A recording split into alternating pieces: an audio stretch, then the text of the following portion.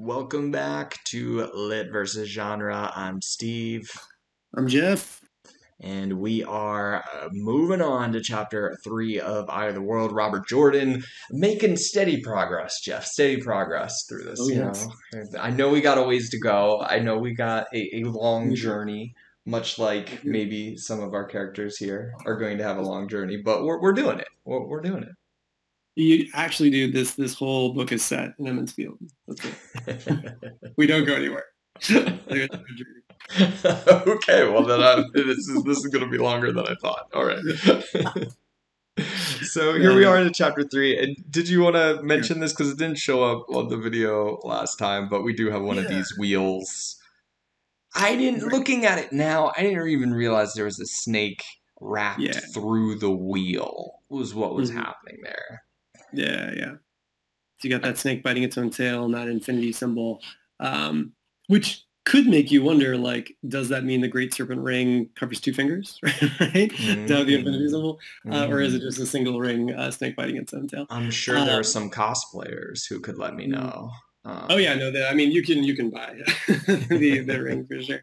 But yeah, so these are the these are the symbols that I was talking about, and I think the the one we get for chapter one is the one we also get at the end of every chapter because it's like signifying the wheel of time, infinity, great serpent. Um, but then chapter two had the ravens, and then chapter three has this weird like, what is it? You know what I mean? Like, is it is it It's like Uh, a knows? cornucopia or something, right? yeah, like cornucopia is a, uh, a sort of horn, claw, you know, we, we don't know. Um, so I I think it's interesting that there are some mysteries associated with uh, some later symbols.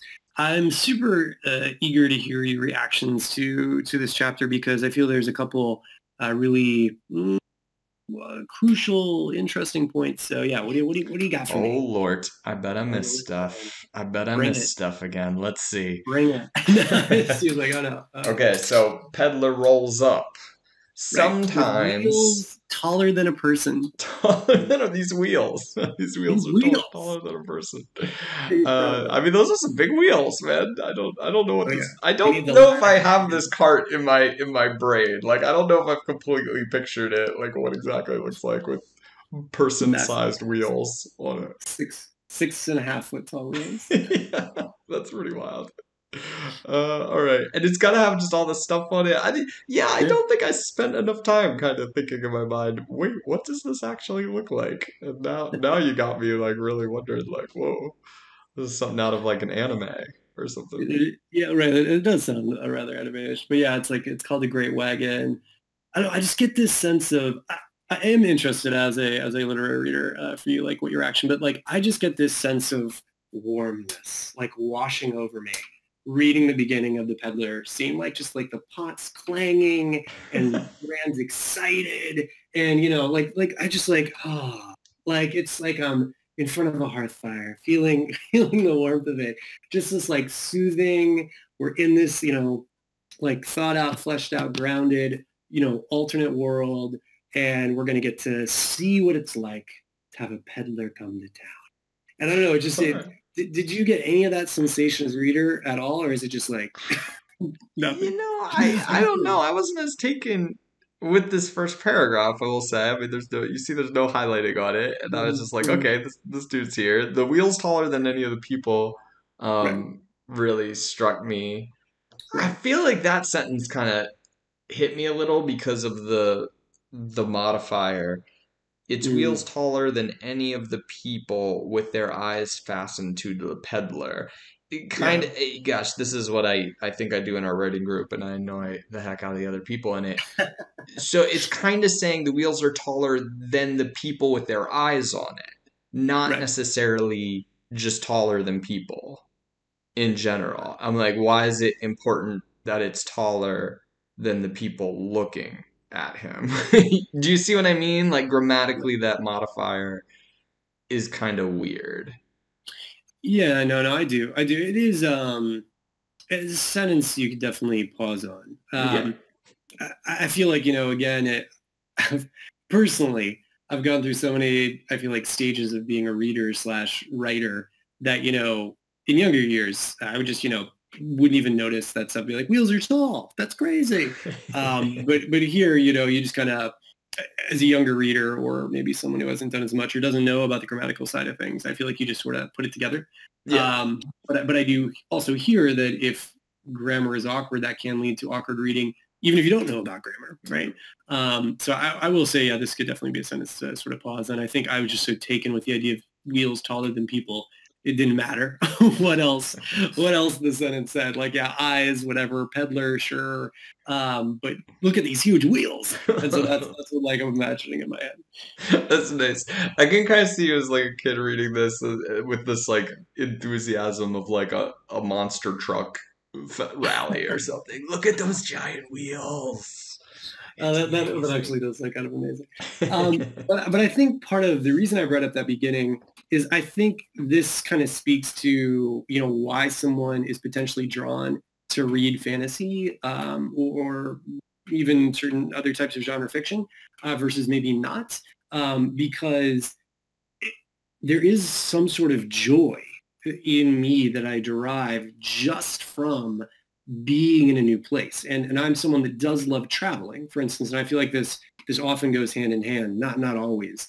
Um, but and so I, I do wonder just how much how much that matters for someone, you know, reading a book like this and fully enjoying it. You know, after, after this chapter, because we're going to be now three chapters in, I'm going to, you know, ask you some questions about, you know, as a literary person, if you'd be be reading this, just to sort of preview uh, what, what's to come.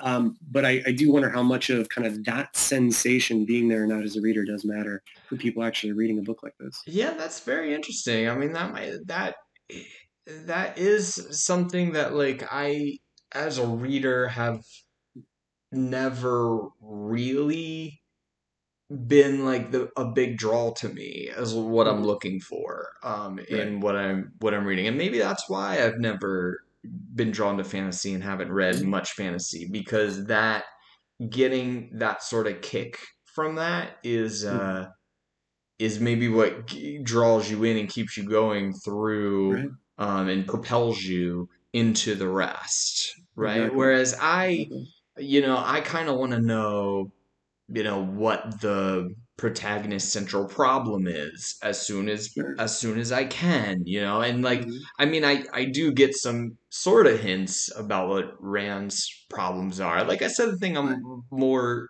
taken by right now is egg and then mm-hmm you know, maybe Man in Black, but Man in Black is this kind of like vague thing in my mind that we're gonna have to obviously deal with on our big quest. But like as far as what Rand's conflict is in his mm-hmm. life, like the only conflict I have from him right now is I like Egg, but I, I'm scared to talk to Egg.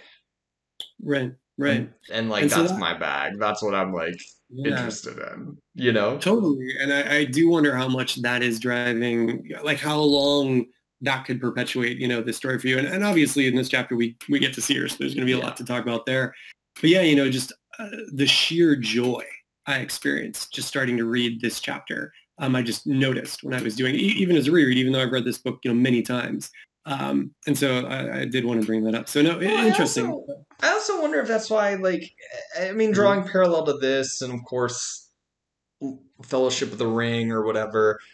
If that's part of why so many of these stories kind of start off I'm on the outskirts of this fantasy world. You know, I, the mm-hmm. protagonist, I'm on the outside right. of this fantasy world. I, mm-hmm. I don't actually. You, it super mirrors, and even here, I was about to say, you must have really gotten off on like all of uh, oh, this stuff about the war and the you know who's I was fighting say, whom. This is the next thing we're talking about. Yeah, yeah. all that stuff. I mean, I can just see you.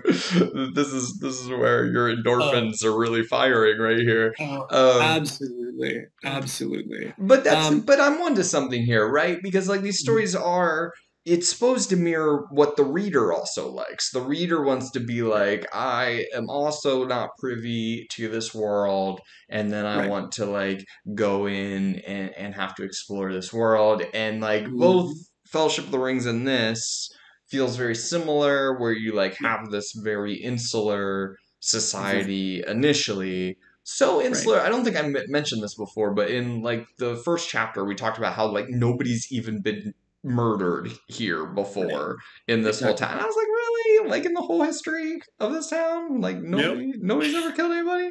Um Nope. but okay, sure. And like then I think in this chapter the mayor's like he, he like mouths the word war or something and is like that's the weirdest word to say war what it what it would never we know nothing of war i'm like come on guys come on you're not Nope. you're not Not that sheltered um but that seems like the gambit of the whole thing. It's like oh this is this is what people are reading for. They want to be the outsider coming in and so i'll literally set the story as the outsider coming in or whatever. Well, and that's what also makes it more manageable to write. You know, that's why Yeah. so many fantasy stories are this, where you are in some like kind of small, sheltered city, town, whatever, uh, at the, and then the person leaves the town and gets to experience the rest of the world, right? right Um, and we'll, we'll get into that more with like all these things that the peddler is talking about. But we get the same sort of idea in portal fantasy, right? So portal fantasy is where you've got a person living in the regular world, and then they step through a portal, like you know Narnia, uh, and then suddenly they're in, um, or I should say, the wardrobe, and then suddenly they're in an alternate world, uh, you know Narnia, and then we learn about that. So That's you know, funny. When you said Portal Fantasy, you want to know the first thing that popped in my mind? What did you think of? The old uh, Dungeons and Dragons cartoon, because weren't they like in an amusement Oh, yeah. park or something? Yeah, exactly. The the cartoon intro. Mhm. Yeah. they go to an amusement park, they get on a ride, um, and then they're they're transported. To, I don't even know why that was the first thing that popped. I guess because we're talking about fantasy, and you said Mhm. Portal Fantasy, and like I hadn't thought about that show in probably fifteen years, twenty years, and like, You should whoa. you should rewatch the intro. It's pretty great. Um, um, I'm, I'm a huge nerd, so I will literally listen to like 80s and 90s uh, cartoon intros, like just on YouTube, like when I'm doing work and stuff. totally, man. Yeah, so like I I know that well. like I maybe I saw it a week ago, like at the longest. I have to So- go back. Somebody made a compilation of themes. What's your amazing. What's your favorite uh, Oh, 80s cartoon oh, theme? There's just too many awesome ones. I mean, Gummy Bears is like just I incredible. mean, Gummy Bears is, Uh, is a great song. Gummy Bears, solid gold. I'm gonna um, plant my like- flag though uh, Some- with Bionic Six. I'm gonna, I'm gonna say right here now. I was That's gonna say. Mask is another one that's like, Yeah, pretty epic. Good. um, good. but but yeah, that's gonna be a whole side conversation. But yeah, so Portal Fantasy is um, th- this idea of you're living in the regular world and then you go to another world, and there's tons of stories are in that way because again, it's an e- I, I hesitate to use the word easier, but having written a fair number of things, I, I truly do think uh, it is easier. Uh, th- it's hard to write any story. Okay, I'll put that out, but I do think it, it makes it less complicated if you are able to show something, somebody in kind of a standard living situation, and then they're introduced to this fantasy world because then they've got all the exact same questions you do as a reader. Um, and it's the same idea here that Rand, assuming he leaves Emond's Field, is going to have all, because we see how sheltered he is, he's going to have all the same questions we do about, you know, the rest of the world. So these are very like common uh, literary devices that, that are used to accomplish this idea. So I like here how the peddler um, starts saying his news. Uh, Mhm. and, and I do like in this chapter, like these, you kind of see it like right here on this uh, page of like uh, just voices from the crowd yelling out. Mhm. I always love Yeah, that in a yeah. movie too. I think like my favorite lines are the ones that are like the anonymous voice from the crowd Right. that like yells out um, a funny line at some point. But that's what this kind of reminded me of. And I Mhm. like how like people like kind of hate both of Right. the kind of forces. like they're like we Mhm. hate the dragon and we hate the dark one. like we hate both of these jerks who destroyed the world or broke the world or whatever. Right. And uh, I right. thought that was pretty cute. And, and, like, yeah, real realistic. You'd be like, okay, maybe he's the good guy, but he still broke the world, so screw him, right? So I Right. like that. Exactly. I, this is one of the parts I want to ask you about. One was the the name dropping that's happening, right? Because he's like, you know, all the way from the Blight to the South and the, you know, Aryth Ocean to the Ale Waste and stuff like that, Aiel Waste, and then Borderlands. You know, so there's all these places uh, Mm. that are talked about, right? Um, and so, you know, again, as as a fantasy reader, um, so this is, this is my question to you: Were you instantly going to the map and looking where the great blight was absolutely not. A hundred percent not at all. And again like just like we were talking about before if i was writing that i would totally just just throw out some names and then we go uh the, the the map guy will take care of it later. It'll it'll be fine. The, the map guy will get it. Oh, yeah. So this this again is just another potential moment of, of like the, the, the difference, right? Um, and that you know we're we're kind of getting these implicit promises that we will we will learn more about these places, or we will go to these places, or, Mhm. or we'll learn about these people. Um, and again, you know, by by having that map and, and by seeing like you know where things are, uh, if if you do choose uh, to take a look at it, um, that that is again, I think, a very fantasy reader thing. Like, I mean, there's whole forums just about maps for and like map making for fantasy worlds um, because people love maps of fantasy worlds.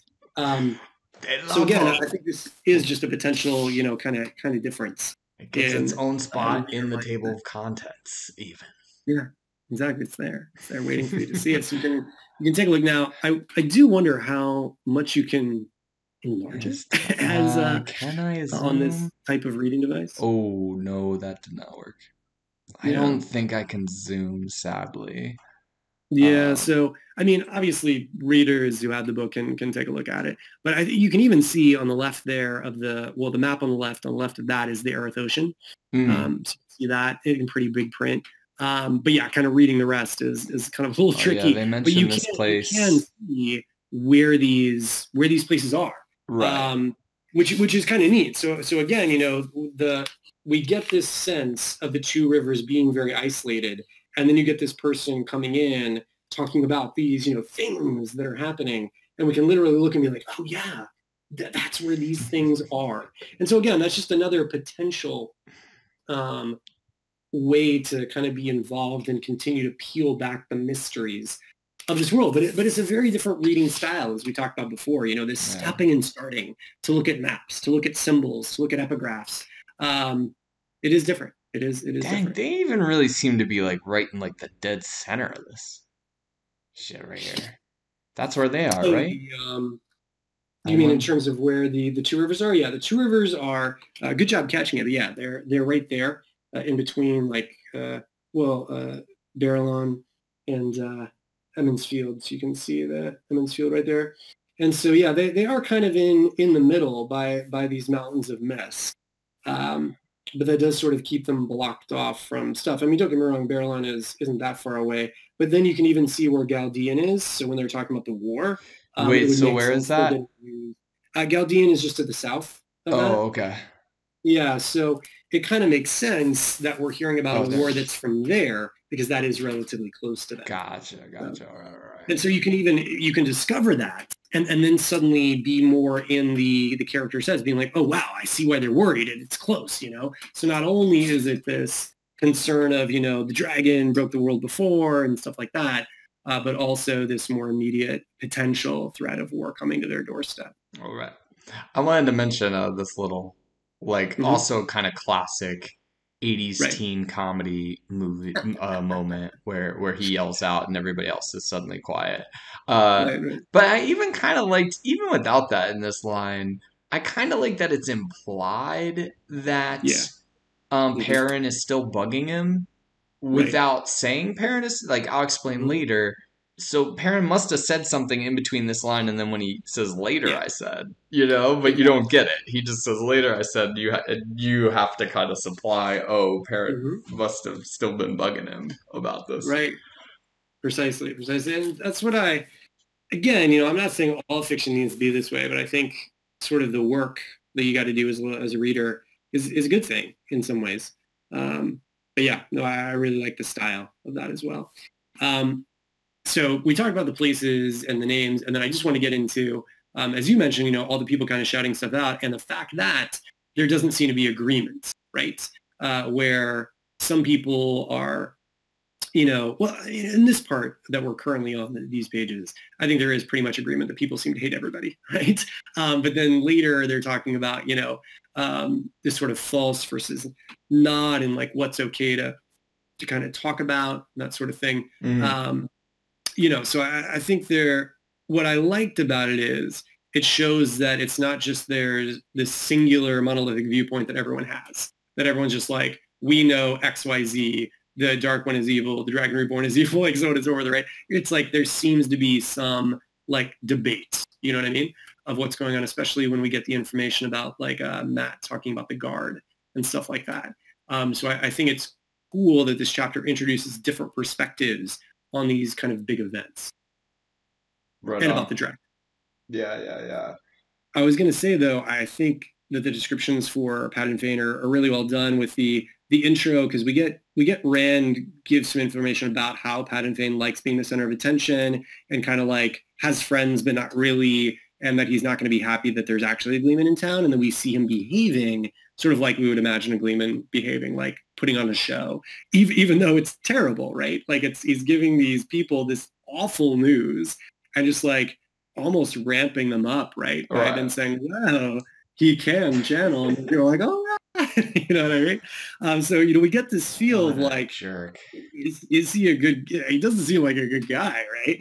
Um, but but I think the way this is set up, it's character driven, which is which is cool. Um, you know, we're, we're learning these terrible things about the world, and that's going to matter for the plot and everything. But we're also getting to see Padan's Fain's character throughout it, um, especially with the way you mark that line there. Oh yeah, and here's I I mentioned I love these like anonymous um, exclamations from people, but this one was definitely my favorite one because it seems like completely like the towny just complaining, just Right. kvetching here. No Dragon Reborn for 20 whole years, and then here three in the last five. Evil times. Look at the weather. Look at That's, the uh, weather. So it's, I feel, yeah, and I mean, I agree, number one. And then two, I think it's just this awesome, great way that he gets to provide us information, right? it feels totally again in character that someone would be complaining and shouting, just said like the townie that's complaining. But then we get to learn, oh, wow, okay, so this is like a thing, this happens, um, and now it's happened more regularly. And so it, it just continues to escalate this idea that times are getting worse. Um, and they're seeing kind of the barest ripple effects of it um, in the two rivers, isolated like they are, but that the world is kind of going into this upheaval.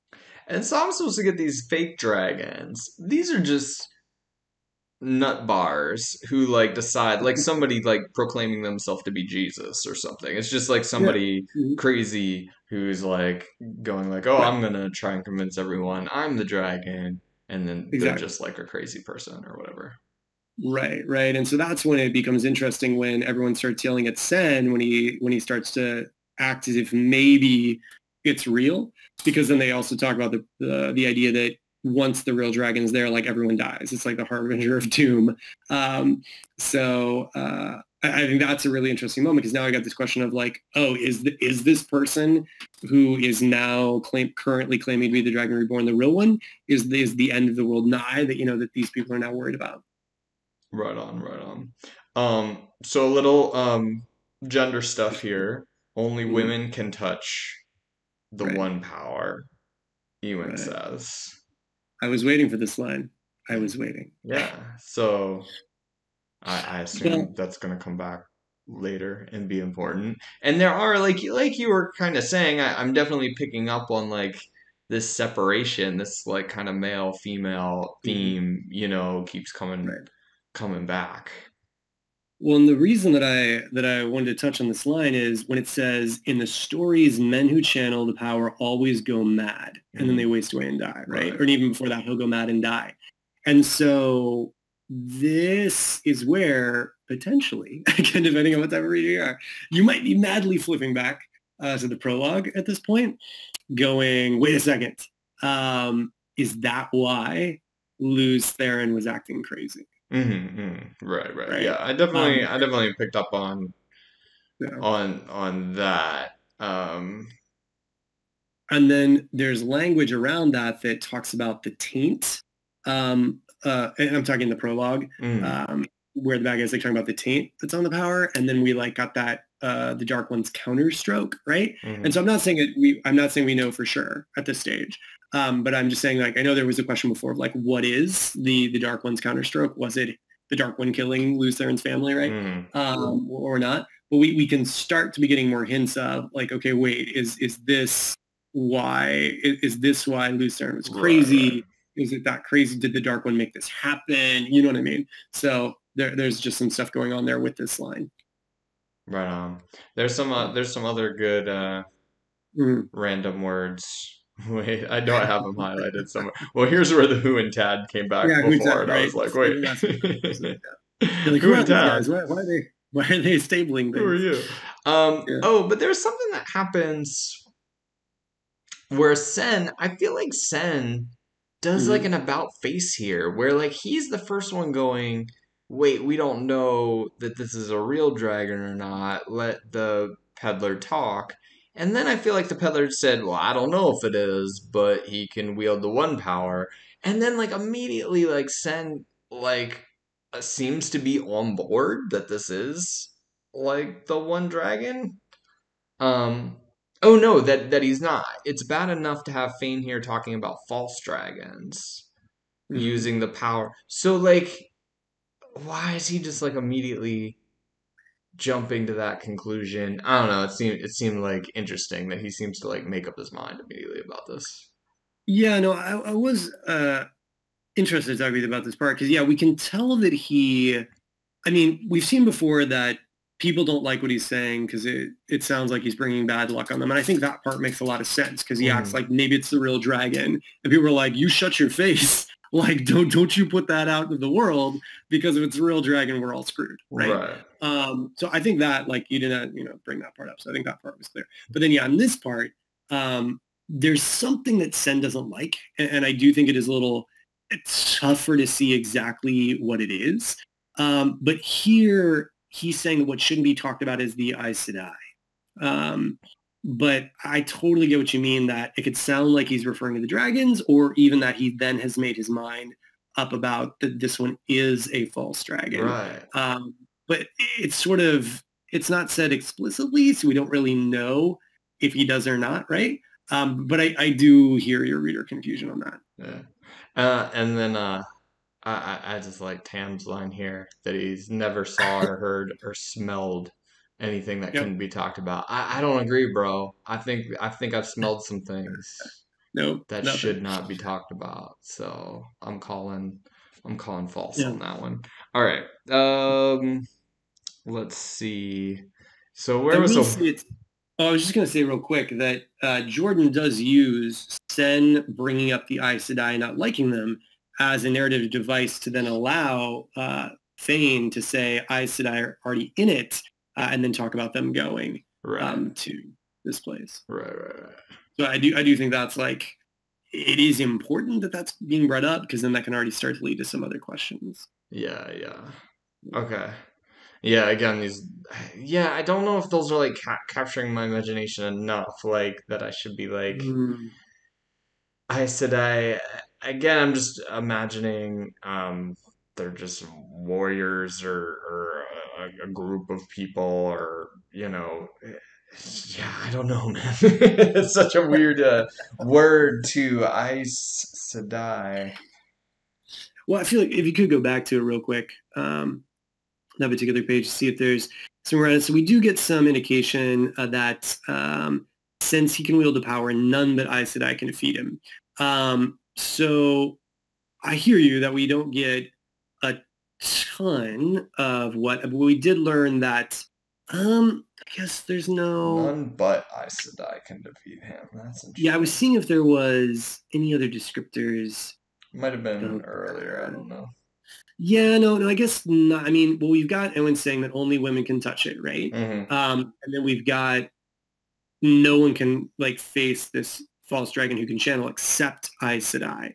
So we don't fully know what's going on there, but we could potentially make some extrapolations. Wait, um, so okay, so see, this is I just need. I'm glad we're doing this together because I clearly just need you to, to point out these things. So am I supposed to believe now? Aes Sedai are women. Potentially, yeah. I mean, you could you could be making that leap, right? If if he's channeling men go mad, it's rare that people like proclaim themselves a dragon or they can oh, channel. okay. So this is why, yeah, this is why I need you, Jeff, because I highlighted this line right. You know what kind, of woman he's talking about. I'm like, no, I don't. I don't know what kind of woman he's talking about. Tell me. Tell me what kind of woman he's talking about. I feel like it's becoming less lit versus genre, more of like explaining Just explain fantasy it. Which is good. Which is good. Please. Uh, uh, I will say though, like, um, I think it's okay, right? Like, you don't have to know uh, what it is. I'll know eventually, right? Yeah, they'll show Yeah, up. you will eventually. But the power, like, what's cool is you can go back and see where it's being hinted at. Because again, like, it's the difference between info dumps, right? Like, we're getting a lot of info here, but it's not necessarily the exact info that just says what's happening, right? Mhm. Um, and that's because he's talking around it, you know, Right. kind of as people who already know it would, right? And so we're getting these like little hints um, of it, but but not fully. And I think I just I personally I, I like that a great deal because it sounds more realistic as opposed to someone just being like info dumb. It, it's there and you got to kind of work for it. And then when you finally learn it, or if you knew it ahead of time, if you're like, I think Aes Sedai might be women who can channel, and then later you find out they are, they're like, yeah, I got it. And it's like this this little win uh, that you get. So Mhm. again, like kind of we were talking before about, you know, me personally feeling just this you know, wave of joy and even reading about a peddler coming to town. Um, th- this is something else. It's like, you know, why why do you read a story or what is it that captures your interest as a reader? And for me, getting these hints that I can then uncover about world building, not about like a mystery whodunit, but just like about the world. And then figuring out I'm right or figuring out the answer, that is very satisfying to me as a reader. Right on, right on. Yeah, no, I But feel that. I feel lots of that. other people. I will say, interestingly, not, not to diverge too much, but I do, I still read a good bit of fantasy. Um, I, I mainly read a lot of my writing group because there's a, lot of submissions. Um, and there's a lot of fantasy there. But I do at times uh, find it hard to find a new book that will thoroughly capture my imagination. I am, as you and I do this, uh, I'm starting to wonder how much of it is this Mhm. um again like this has been so revealing to me to have to like sit down and, and talk about you know what i'm doing what i'm thinking um and it's a joy to do honestly to to uncover these things but as we discuss it i do wonder if a lot of fantasy i read is just more on the nose that they do just give you this info Mm. whereas in this you gotta you gotta work right, um, right, I right. think I, miss, I think I missed that. I think I missed that mental exercise that this kind of writing puts you through. Yeah, that's interesting. And it's interesting to think back. I mean, you've read it multiple times, and I've never read it before. If you can even like fully put yourself back into the first time, you know, can you like even remember when you're reading this, not knowing who the Aes Sedai are, you know, like Right. it's it's uh, I don't know. It's an interesting exercise to try and to try and do. Well, I think this just also goes to prove, give proof for why I love this book so much because I do think the clues are there. Right. Mhm. It would be one thing like true, like I, I can't fully disconnect my bias, right? My knowledge. But the fact we can go back through and find these little words, right? And, and Mhm. I'm not going so far as to say like we should know at this point as a new reader that Aes Sedai are this thing, but to find that there are some clues, that Mhm. there is something we could potentially put together. Yeah. And again, not not to talk about Ravens too much, but I feel like Ravens does it just gives you it, it just like tells you these Yeah. things. Um, whereas in this, like you gotta be like, maybe and then we're like, well, I guess I'll find out, or maybe it is, and then we keep reading for the rest of the story. And, and is that like about changing times and just when he was writing? You know, is it about right. what, you know, if there if he did hear some complaints from hapless readers like myself, you know, who didn't get some of the stuff. I don't know. It's, it's interesting to theorize about. So I'll, I'll be interested when we go back and read that. No, I hear you. I hear you. Um, just want to note on this page, the council kind of jerks, right? Oh, this is a little authoritarian here. Like, why do they have to like Mhm. talk to him in secret? I'm kind of with all the villagers here to be like, hey, what, what the hell? What the hell, man? That's messed up. Okay, so they do that. Um, and I think more than anything, it's just like, okay, we we need to keep some stuff from the kids, um, Mhm. as well narratively. So this allows us to lock the kids out and allows Nynaeve to finally arrive. Um, Before we get into that, because that is a big deal, I just want to touch on two quick things. Yeah. So I've been looking back through, and, and you're right. When when Cenn says, you know what kind of woman he's talking about, right? Uh-huh. That uh that pronoun is huge, right? For us to figure out like who's the he. Uh-huh. Yeah. Um, and in the previous, I thought it was got, Ewin, right? Right, it's referring to Ewin, right? Yeah. And so Ewin, like, what women would he be talking about uh, when he brings up this idea of uh, only women can touch it, right? right? So he's indicating that there's a kind of woman, the woman who can touch it, right? Um, and then say, so there's there's no point about talking, bringing Aes Sedai into it. And notice he says, a fool of a boy bringing Aes Sedai into it. So right, this is the brilliance to me of, of Jordan in this. Robert Jordan is saying to us, the reader, hey, Aes Sedai are women that can channel, and they're the only ones that can because men go crazy, right? Um, it, it's, it's there for us, but it's happening within this broken conversation. Like, and, by broken, I mean like it's broken apart throughout, you know, Ewin saying this thing, Cenn reacting, Bran reacting to Cenn, Cenn reacting again. Um, and then us getting almost, almost clarification from Padan Fain talking about that they're the only ones that can handle it. We're like, well, what type of person can handle someone channel? I suppose someone else. And we go back and we see it. So right there, Robert Jordan has given us Aes Sedai are the ones that can do magic. They're women. Um, I mean, that's cool, man. But like, I'd have to be like IQ 160 or something to have put this together. Like, I'm already juggling that these words, like even the words themselves, Aes Sedai, which I have to like be kind of thinking in my mind is like a, a group of people. And, and I mean, that's all in there, and I got that. But like, you're juggling all these things, and then yeah. does he really want me to be connecting these dots like in real time about that what that's what that is I mean, I'm I'm sure he does, and I'm sure there'll be commenters who said like Steve's a, a an idiot and, and, just couldn't read this through. But I'm like, that is that is like something for the reread to me. I don't I don't know like if on my first try through I ever would have been. Or maybe like I'm not going through with that fine tooth comb. Like that's the thing. I'm not like every word I'm gonna trace back because that ah, that's that's a little bit not what I read for. Like I want to be reading mm-hmm. for the flow and for the sentences. I don't want to be stopped exactly partway exactly. through so, and go back. Like I, that's yeah. that's not how I like to read. You know, right? And so that, that I'm, I'm getting excited because I think that this also shows one of the big potential disconnects between like lit versus this very specific style of genre, which is like, you know, dense uh, fantasy reading or relatively dense uh, compared to some other novels. But um, exactly, because for this, when we use the word read, right, like, what does read mean? How do people read? Um, if you were listening to this in audiobook, it would be a pain. You'd be like, oh my goodness, wait, okay, right. rewind 30 seconds. Like, what is this, right? Um, and so, yeah, a lot of people who do just read straight through, right? Because um, they don't want to kind of break their immersion or something yeah. like that, um, which I get. Or, or, because what they're interested in is how do the sentences flow? How do they connect to each other, right? Mm-hmm. I mean, that's what excites you potentially as a reader and a writer. Um, or you just said it did. Um, you don't want to do those things. So I think it works on, on well, it works and it doesn't. So it works on two potential levels. One is you don't have to know. But you just know that, okay, mm-hmm. there's these Aes Sedai things that are being sent up to the dragon. I, I, don't know what that is. I'll find out maybe someday, right? And you keep reading.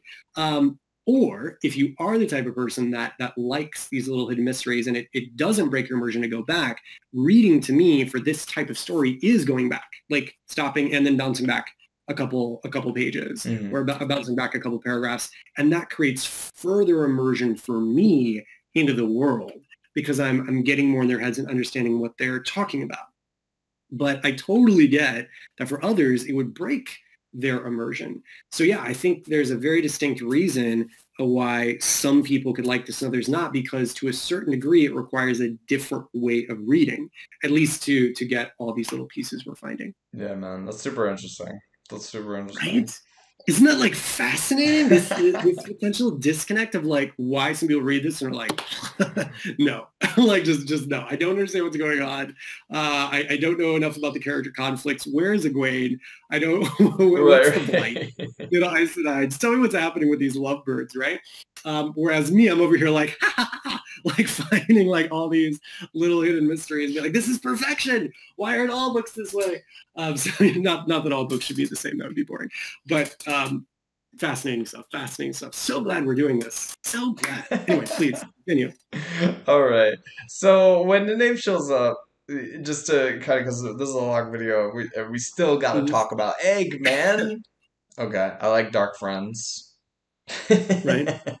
So, but let's talk about this capitalized word here, Dark Friends. Yeah, yeah. So, I, what kind of threw me here is okay. The word friend Right. You think of like two people in a friendship, right? right. So we've just said, I hope the Aes Sedai and this dragon, false or not, stay where they are. Do you think mm. they're really dark friends? So. I guess I knew in my mind that Aes Sedai was just a group of people and not like a person. But like right, it to me oh, like okay, "Hey, are Aes Sedai and Dragon like going out? Like you right, know, are they?" I was like, "Okay, that's weird." That's funny. I've got something different to to say for that. I just I think for multiple books, read it as Dark Fiends constantly. Like my brain did not want to make it Dark Friends because that just seemed like too. I don't know. It just didn't work for me. I was like, no, no. It means it's Dark Fiends, obviously. Like they're Dark Fiends. Um, this so, like, it sounds too like after school special or something. Like, like I, I literally couldn't make my brain see it as Dark Friends until I think years later. Um, and it was just this really like weird thing my brain did. Um, yeah, but it's funny. super real.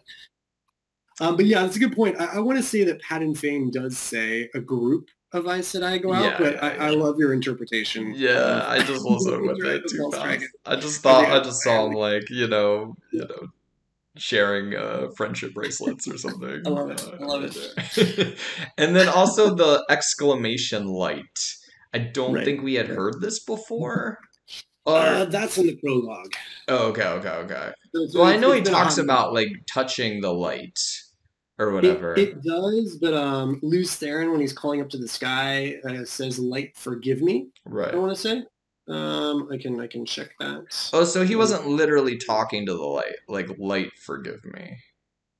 He was saying yeah, light, well, as in like, dang.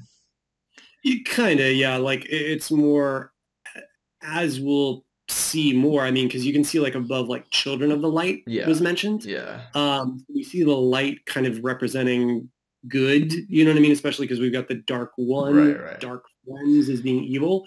So, so you got just correcting him here, right? Like like Mat says, not all stories say they serve the dark one, Rand, and then. Mm-hmm.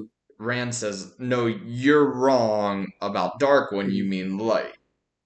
Light caused um, the breaking." It's it's more, it's like a swear, really. It is a swear. So this, okay, so I am yeah, reading so that right. Okay, this is like another uh, interesting thing in, in, fantasy novels, right? It is normal for the fantasy writer to try to figure out how can they swear without swearing. Sure, sure. Um, and we do even get that later with uh, when Mat says like, uh, what do you say, blood and stone or blood and ashes, mm-hmm. um, and Nynaeve is like, language, Mat. Um, but yeah, so that that's what light is.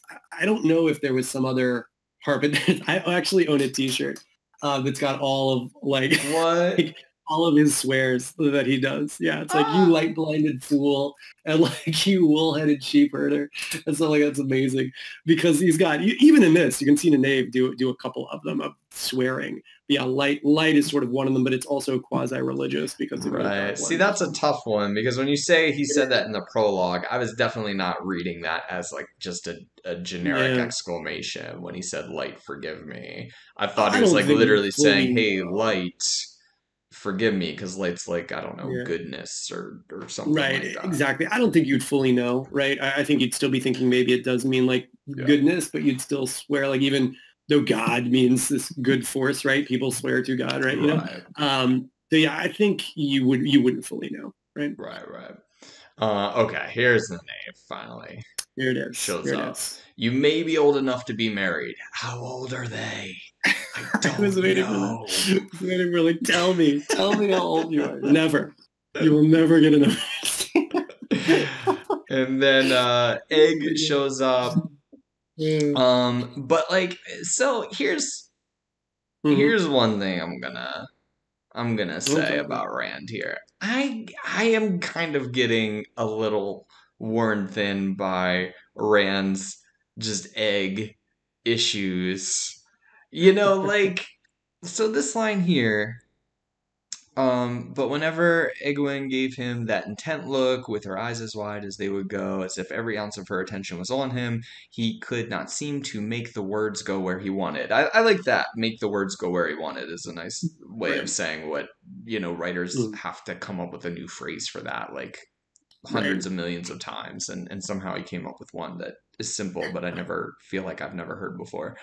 Oh, okay, but then he says perhaps he could get away as soon as Nene finished, but he knew he would not, even if he did not understand why. You understand why, bro? Like you dig the chick. Like I don't I don't like really buy this like oh, I don't know why I'm gonna stick around even though she makes me uncomfortable. The reason she makes you uncomfortable is because you dig her, and you know this perfectly well. And I do not believe your like sort of denial I mean, I act really- here.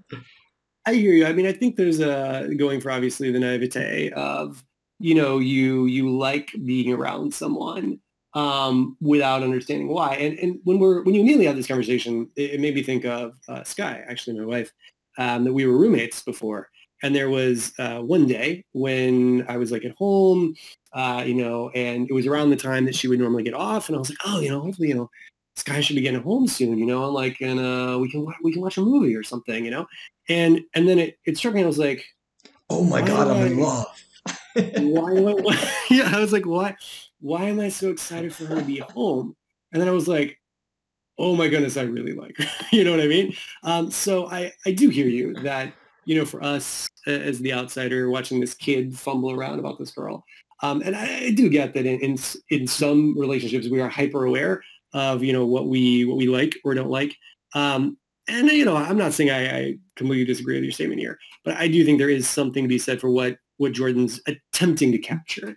This notion of I feel something, but I don't really know what it is. I have this sensation when I'm around you that I don't really like, but also don't dislike, or I'm not sure what it is, but I still want to have it, even though I don't understand it. And so I think that's like what he's going for. That's funny. I have always been acutely aware of which girls I am into and when. Um, but yeah, I, I feel it makes me think of like uh, I was trying to think this happens in movies a lot where like the character is suddenly like, oh, I've loved this person Right. all along and didn't realize it. Right. I think it's Jane Austen's fault with Pride and Prejudice, basically. You know, like that it? Is that it? Elizabeth just didn't realize that she. I mean, in that book, she does a good job of making uh, what's his name seem kind of awful the whole book until the right? end. But but there is that. That is a classic moment. You're right. Of like so I mean, many. it- it is. I feel like it does happen more often that other way where it's like, you know, a female character and there's this guy who's kind of like awful to her or whatever, right? Um, and then he has like this moment of like, like, you know, nice. like he's nice for this, this moment. He does something kind. And then it's like, wait, actually maybe, maybe he could be okay. Yeah. Um, but I think you know the I think it can happen both directions, of course. Um, but I do also agree it's, it's not something that happens a ton. It can it can feel just something that happens in stories, Yeah. but is it but isn't real. Um, but personally, that's that's my my take on it. Yeah.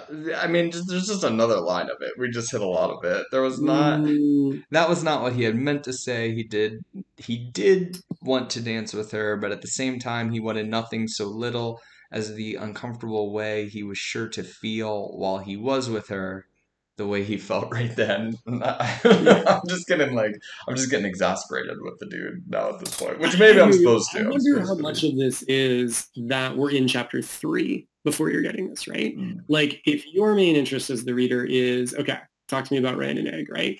Um, and we got to wait and wait. You're like, okay, okay, I met Mar- I met the townspeople, I met the council, I met Moiraine, I met the peddler. Egg, Egg's finally here. Oh yeah, and And- especially this Dude. one. Come on. Somehow it had never occurred to him that she would reach marriageable age at the same time he did. What? I do Oh, 'cause she- she- not believe you. I do not. No. A, how old are you, bro? How old are you? B, I don't believe that never would have occurred to you at any point. I mean, I, I do concede that using extreme language is is is a slippery slope because it's hard to truly believe that. Um, but to to my point, just real quick, I do wonder if you would have been this exasperated if we had seen these scenes like sooner, Hmm. um, and he wasn't sure, or or if this would, it could happen any point, and you would kind of never believe that someone doesn't fully know how they feel, right, or, or doesn't, or is isn't this unaware, right? Um, in terms of like why he wouldn't think that, it is because she's two years younger than he is. Mm. And so it, it does seem like in this society that there is a, a certain age that you become marriageable um, and that women are allowed to sort of braid their hair when they become uh, that age. right. But the women's circle has an impact on when you get to make that decision. Um, I will say there's a lot in Ravens about that as well. So I, I do wonder, you know, how much of that was in response to people being like, "What? What is this?" Um, but but I, in this chapter, it does talk about how Rand thinks that like being two years older should let him have some sort of, you know, uh, not not power but authority uh, sort of over uh, Egwene, but that doesn't work at all, Mhm. and that he doesn't feel like you know older in that moment. Yeah. So. And I'm getting some of this like classic romantic Mm-hmm. comedy uh back and forth where like clearly Egg likes him. She wants him to say, "Hey, Right. you know, you like me." Oh, you're not going to say that? Well, I guess I'm going to run away and become a nun. Or so, you know, like basically is what she's saying here. like I'm going to go to another town somewhere else. He's like, "Oh, but I don't want that." It it all it does feel very like Mhm, Um, mhm.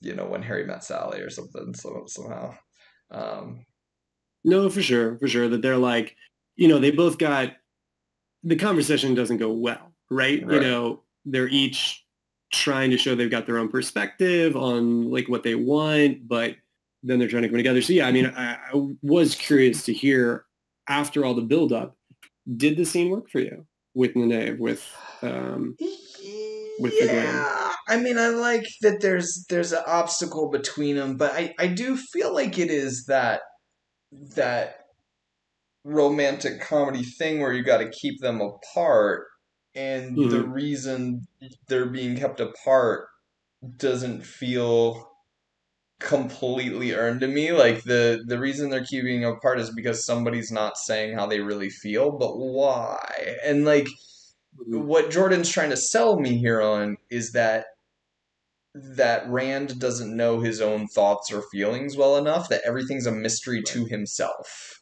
That his Right. own motivations like why do I feel so awkward around her? Why do I want to be here but not be here at the same time? And that doesn't really work for me. I, I don't I don't believe that characters are just mysteries to themselves that much. Um, I think they sometimes do things that surprise themselves, you know, and that's often works like really well in a story where somebody does something that they they wouldn't have thought they would have done otherwise. Mhm. But as far Mhm. as like oh, you know, I I don't realize I like you. I don't know. I have trouble with it. But I mean, yeah, I, maybe that's maybe that's just I- I something I, do haven't experienced in my own know- life, and that's why I'm having trouble with it. But I would have liked some other like kind of bigger reason. I even would accept like the, you know, just I, I I like somebody so much I'm awkward. I fall over myself and I say something Mhm. dumb because I like her so much and I realize I like her so much. You know, um, as Yeah. like what's kind of keeping them apart right now. I feel like that's what Jordan's doing again, more with the the actions than the words, Yeah. right? So you got Rand being like, almost like we were talking with Moiraine, right? That you know, it- it's not that in Rand's head he's thinking about how gorgeous she is over and over, or you know, how he'd love to kiss her or something like that, right? Um, it's more just that he's stumbling over himself, you know, with a coin, you know, um, all willing to do what she wants, that sort of thing. And we see that sort of same idea happening here. I mean, obviously there's more internal dialogue about him being confused about his feelings. Um, but it's more shown again that, you know, he can't say the right thing, that he wants her around, but doesn't want to say that he wants to be with her because he doesn't know if he wants to be with her, stuff like that. Kind of like the awkward teenage thing. So again, I would say this is why some people label this as more a, you know, YA story, because if you're reading about two, I don't know, 14 year olds or something, 15 year olds, right. maybe 13 year olds, maybe, maybe this being unsure, like I've got this feeling, but I don't really know what it means. Like before girls were icky, but now I want to be near you and I don't know why. Like I, I do think those moments happen, um, but maybe the age uh, feels unrealistic. Like wouldn't he have already had a couple girlfriends? Like wouldn't he, you know, if, if he's eight, let's say he's 18, right? Um, would he have, you know, kissed a girl in the hayloft or, you know, you know, stuff like this. And, and we're not getting any of that. There's no comparison to another love he's had in his life or information that, you know, he's been so sequestered on the farm that he never gets to see girls or something like that. Um, so yeah, I, I think there's a couple of factors that are would probably make it hard for a more modern reader because we don't know his exact age and then he's behaving in this way where he doesn't know his own emotions and that is the, the primary thing that's causing difficulty between them so from a kind of romantic structuring standpoint it does it's not giving you a lot to work with well, as a reader if that's if I, that's your interest i think if it was clear what he wants then mm, even mm-hmm. these lines right here right. which is a great little moment but would work better because if i can read him saying you know th- this this line of course i have i daydream sometimes but i know the difference between daydream and what's real and of course she gets offended at this mm. but i this i feel like is just his like real self talking that's just his real opinion if right. if i knew in his head he's like oh i'm crazy about this girl mm. um and then she says i'm leaving and then he says this because what he really wants is for her not to leave. Like he knows that's what he really wants. Mm-hmm. He's like, I'm going to say this because I do not want this girl to leave. But then it has the exact opposite effect of what I want.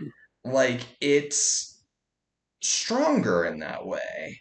And I mean, and I know we hear this a lot in all sorts of like, you know, writing seminars and workshops and stuff. Make it clear what the character wants and I think this is why, because if I if I am getting in all these chapters up till now, oh man, I'm crazy about this chick, but I don't know how to talk talk to her. I, I think maybe mm-hmm. she thinks I'm a, a, weirdo and a nerd, and like I don't know how to do this. And then he says, "Oh, you know, it, it's stupid to go somewhere else." And he's saying mm-hmm. it because he wants her to stay. She, of course, takes it. Oh, you're calling me stupid. Then that's like, I think it kind of pops a little bit more. What if he doesn't actually like her though? What if he doesn't? Well, then I'm putting down this book. This I'm I'm done with this thing. I'm setting it on fire. so I'm just putting out there, you know, we we've sort of been talking about this with the assumption that you know he does like her. Yeah. And I'm just saying there is also the possibility that they've grown up together, they've known each other for a while. As you get older, you start feeling perhaps potentially awkward um, around the opposite sex or around someone you like. Um, and so it is feasible that he's just going through that. You know what I mean?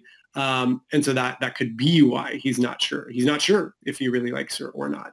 Because maybe maybe he does, maybe he doesn't. Is that compelling to be not sure whether he right. really likes her or not? I mean, it's definitely possible. It's, it's a reading that Jordan is offering us here, but is that as compelling? And then is this scene as compelling if if he doesn't, if he maybe does, maybe mm-hmm. doesn't? And I think that's why you know this this isn't I know that's what you said you were interested in reading, but if we look at what we've received so far, that doesn't seem to be the main focus of the book. Like this is a sort of a side thing. Um, and the main focus is about like this impending doom that's coming, this apocalypse that happened before, um, and these people that are interested in boys his age. You know what I mean? Um, so, you know, maybe this love interest uh, will be a story uh, or maybe not. Um, so, you know, I like I think, how you're being spoiler free here. I will yeah. be shocked and appalled. I must say, if this doesn't like play out in some way. I don't need them to get together, but like, there's gotta be. Come on, there's gotta be more going on here between them.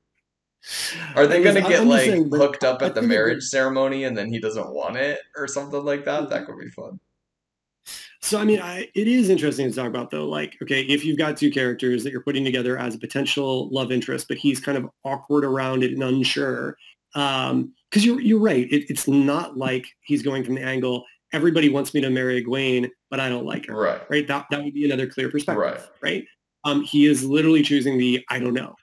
like I don't know how I feel about her. Um, and, and could that be more explicit? Right. That like he's had a friend who fell in love with a girl and it was totally obvious for him. And then he had another girl who had come up to him that he didn't like. And he just can't decide which he feels about Egwene. Mm-hmm. So I think that if there maybe was some more specificity, um, then that that could push this particular angle. Um, but maybe right now it just feels like another thing you're being denied, right? right? And, and, it feels like maybe there's no reason that you're being denied it.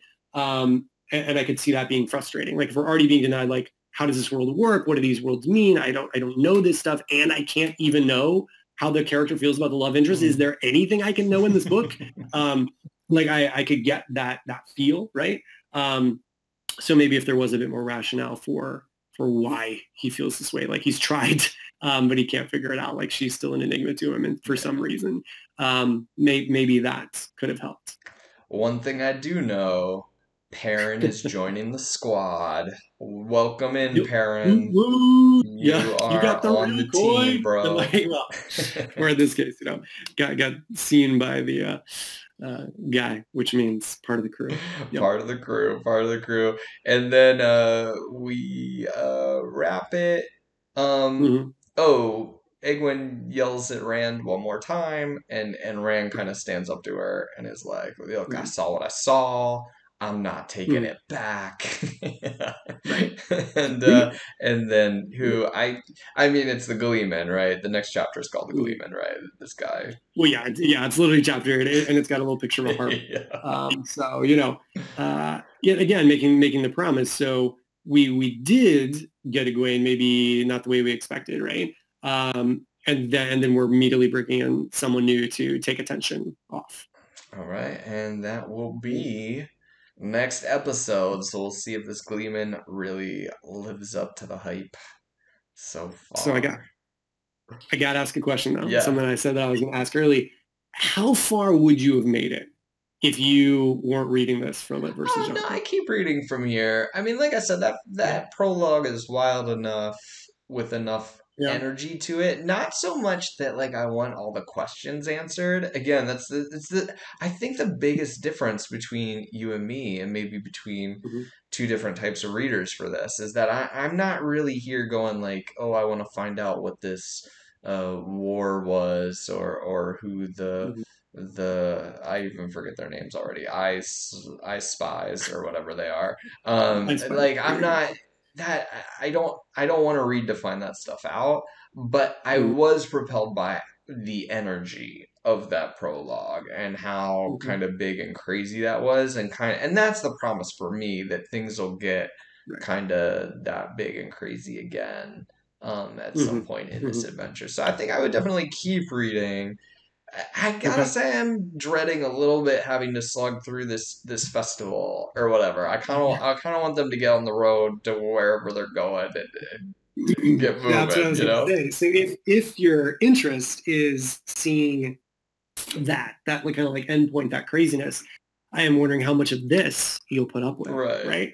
Like like how much of the the slower stuff, especially pardon me, especially when we're not getting sorry, sorry. Oh, Especially since we're not getting clear information about like Rand and Egwene's relationship um, or some other things you might be wondering. So yeah, this, this will just be something I check in with because you mentioned, for instance, that you know uh, you you didn't make it. I, I, wait. Did you read the entirety of the first uh, Game of Thrones book? Did you read? Yeah, I read the whole thing of the first Game. oh, you did read the whole thing, but you didn't make it all the way through Mistborn, right? Yeah, you I didn't make it all the way through Mistborn. So, yeah. so I am just wondering, like, how long? How long will that energy of the prologue carry you, yeah. right? Um, and obviously, we're going to do the whole thing because that's, that's the point I've of these, these videos. I've, I've, signed my life but, away. We're doing it. but I want you to be really, really honest about like when you would kind of be taking a break or or or not, because Yeah. I think that that is going to be a really fascinating conversation uh, from a lit genre perspective. Right on, man. Right on. Sounds Right. good. Well, no, and I'm, and this also helps that we we're gonna like put it under the microscope and and and talk about Yeah, it too. I'm, I'm kind of jazzed just to read it for that. But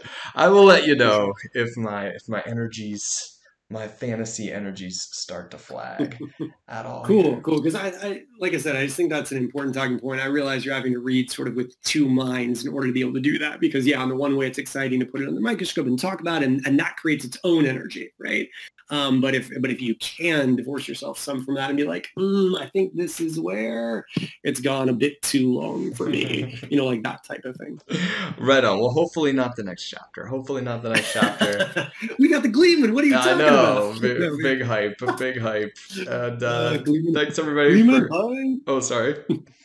I was saying Gleeman hype. Gleeman hype, Gleeman hype. Thanks everybody for joining us, and uh, yeah, we will be back very soon to dive in to uh, the Gleeman. Gleeman chapter four. We'll see you then, everybody.